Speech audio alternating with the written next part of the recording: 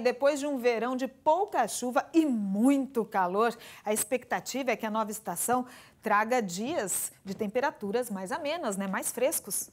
O verão que passou não chegou a ser aquele de escaldar. Teve sim média de 32 graus, um acima do que era esperado. Mas no geral, as máximas foram menores, como explica o climatologista. Nós não tivemos temperaturas extremas, então não teve nenhum recorde. Choveu 30% a menos do que, é de, do, do que a média.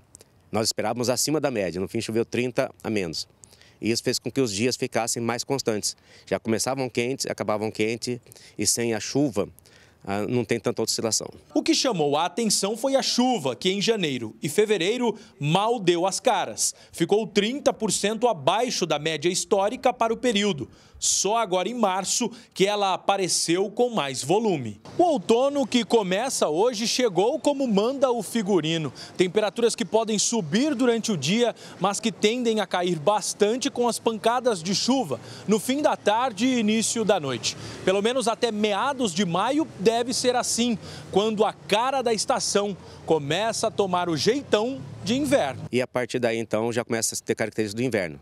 As frentes frias um pouco mais intensas, as temperaturas começando a cair, talvez na primeira semana de maio chegue aí até uns 12 graus, para a gente começar a sentir, mas já uma característica de inverno. E mesmo para quem gosta do verão, um tempo mais ameno é sempre muito bem-vindo. Com certeza, ele é super esperado. O clima é bem melhor para a gente poder andar também, porque o sol judia. Mais fresco. Eu não gosto de calor.